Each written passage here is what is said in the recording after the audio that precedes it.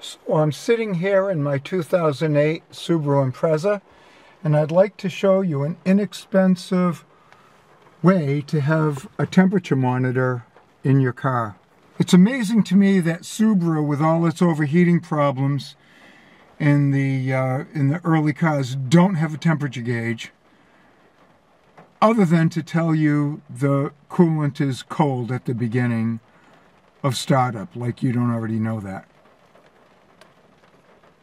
So here's my solution to inexpensive temperature gauge for your Impreza or Outback or Forester or any other Subaru you, you have. This happens to be a pretty inexpensive scanner. As you can see, it's an Autolink AL329. And I think I paid about $40 for this. I'll put a link in the video. But basically it's a scanner and we've got our little connector down here which I'm going to hook up to the computer in here. So I'll do that right now. So as you can see I've got the computer link connected. Now we will uh, we will go here and we will choose enter uh, wants to link to the vehicle, so I guess I better turn my key on.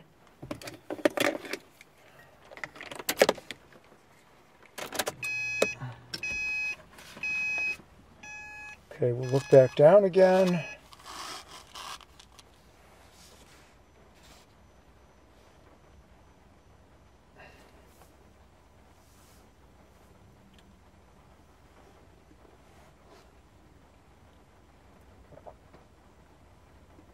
There's my car.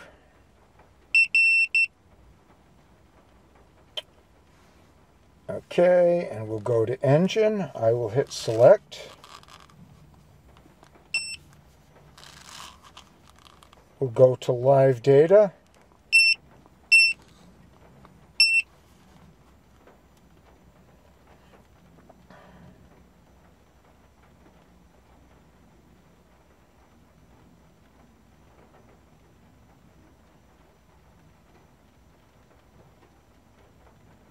And as you can see, the engine temperature is 22 degrees C right now. Of course, I haven't started the car yet, but the point is you can now check your engine temperature live. So, as you can see, I put a couple Velcro buttons on the back. I've got a couple Velcro buttons on the dashboard here. And so I'm just going to connect this up.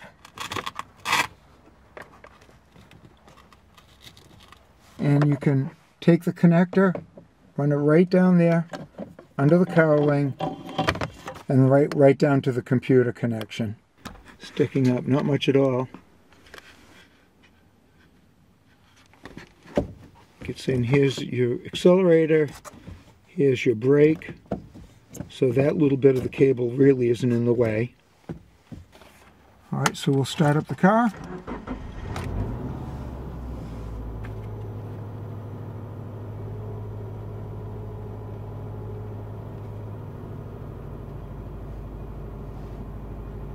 And now you can watch the engine temperature.